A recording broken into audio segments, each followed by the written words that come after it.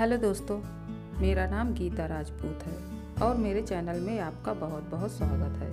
तो दोस्तों, आज हम भूनने जा रहे हैं लहसुन। वैसे तो कच्चा लहसुन कई लोग खाते होंगे, उसके भी अपने फ़ायदे हैं।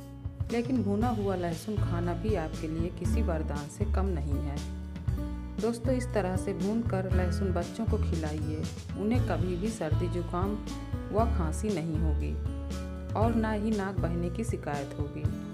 सबसे मज़े की बात तो यह है कि भुना हुआ लहसुन बच्चे खाते बड़े चाव से हैं। अगर रोज़ाना तीन से चार कली भुना हुआ लहसुन सुबह और शाम को सोते वक्त बच्चों को खिलाया जाए तो वे बार बार बीमार नहीं पड़ते हैं। इसके खाने से, रोगों से लड़ने की क्षमता बढ़ती है, हड्डियाँ मज़बूत होती हैं और वे जल्दी चलने फिरने लगते हैं। इससे गैस भी नहीं बनती है और पेट भी दुरुस्त रहता है।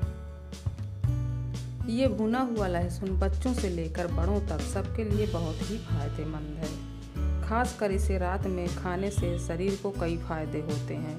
भुना हुआ लहसुन आपके दिल को फिट रखता है। हाई ब्लड प्रेशर के मरीजों को भुना हुआ लहसुन ज़रूर खाना चाहिए। रात को सोने से पहले इस तरह से भून कर लहसुन खाने से शरीर में मौजूद विषैले तत्व पेशाब के माध्यम से बाहर निकल जाते हैं। दोस्तों, इस तरह से लहसुन खाकर आप खुद को कई रोगों से बचाए रख सकते हैं। इसके खाने से आपका मेटाबॉलिज्म तेज़ी से काम करता है, जिससे वज़न कम होने के साथ साथ डायबिटीज़ भी कंट्रोल होता है।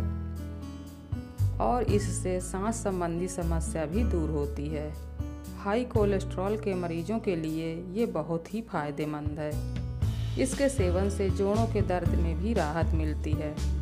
दोस्तों, भुना हुआ लहसुन खाने से शरीर की रोग प्रतिरोधक क्षमता बढ़ती है और कैंसर जैसे गंभीर रोग से शरीर को लड़ने में मदद मिलती है। जब इस तरह से लहसुन भुन जाए तो गैस को बंद कर दें और ठंडा होने के लिए छोड़ दें। जब ठंडा हो जाए तो इस तरह से छील कर खाएँ। ये खाने में भी बहुत टेस्टी लगता है।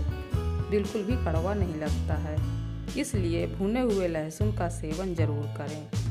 दोस्तों, हमारी बस यही कामना है कि आप स्वस्थ रहें और खुश रहें। धन्यवाद दोस्तों।